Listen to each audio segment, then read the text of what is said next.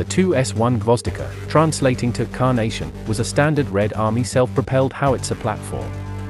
The type was recognized in the West in 1974 and given the appropriate designation of M1974.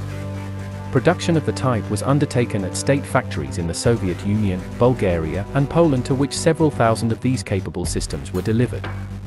Operators beyond the Red Army included various satellite nations, communist allies, and Soviet-friendly nations the world over.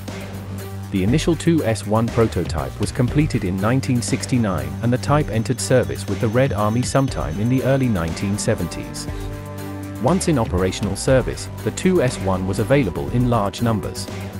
The Soviet Army gained much valuable experience in their dealings with the capable German Army in World War II. In the decades following, a commitment to ever-improving army support was key to the might of the Soviet Land Army.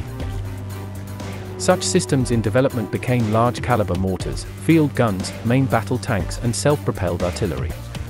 The advent of the missile age also helped to expand the lethal reach of Soviet military hardware and its weapons were shipped off to any pro-Soviet regime. The 2S1 self-propelled howitzer was one such implement that utilized proven mechanical components with a powerful main gun. Its howitzer nature ensured that it would have been used in support of Soviet troop and armor actions should the Cold War in Europe had ever turned hot. The 2S1 borrows much of its design from the MTLB multi-role tracked vehicle. The hull is rather long and featureless, making room for the flat, all-welded turret emplacement to which a 122mm double-baffled main gun is fitted. This provides the 2S1 with a low profile and squat appearance, making her easy to conceal and more difficult to identify. The glacis plate is well sloped towards the turret roof for optimal ballistics protection. The multifaceted turret is fully powered and holds three of the four crew, the commander, loader, and gunner while the driver mains a forward left hull position. The turret can traverse a full 360 degrees and provides for an elevation range of plus 70 to minus 3 degrees. A fume extractor is clearly identified along the gun barrel. The engine is fitted to the front of the hull, the running tack systems are fitted to each hull side and sport 7 road wheels and feature an adjustable suspension system. The drive sprocket is at the front with the track idler at the rear. No track return rollers are present. Beyond the main gun fitting, there are no other secondary weapon systems available to the crew. Armor protection is 20mm at its thickest, one of the key qualities of the 2S1 design is its fully amphibious nature, allowing it to traverse water sources with little preparation on the part of the crew. While no dedicated propulsion jet is fitted, the 2S1 is propelled through water by the motion of its own track systems. Due to its Cold War origins, the 2S1's fighting compartment is fully protected from nuclear, biological and chemical NBC, weapons. Infrared night vision is standard for the driver and commander positions.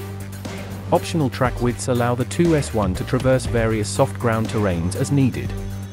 The engine is fitted to a separated compartment at the front right of the hull and consists of a YAMZ 238N diesel-fueled engine delivering approximately 300 horsepower.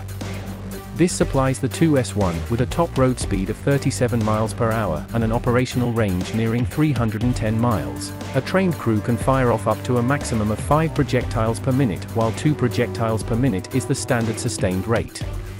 The 122mm gun of the 2S1 can reach targets out to 15 km on standard projectiles, and up to 22 km when utilizing special rocket-assisted munitions the main gun is cleared to fire a variety of conventional munitions including high explosive, HE, armor-piercing high explosive, APHE, and flechette, steel arrow dispensing, rounds. The 2S1 can also fire chemical-based warheads. Up to 40 by 122 mm projectiles can be stored aboard the 2S1 interior. The 2S1 was further developed into other useful battlefield roles for the Red Army and its other operators. This included such types as a mine clearer and chemical reconnaissance vehicle.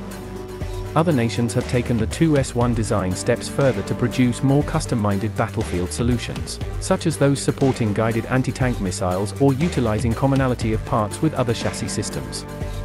In Red Army service, the 2S1 was formally replaced by the 2S9 and 2S19 series of self-propelled guns. The phase-out process of existing 2S1S began in 2007. Other former operators of the type included the Czech Republic, Czechoslovakia, Hungary, Romania, Slovenia, and Yugoslavia, these either being placed in reserve status or passed on to successor states.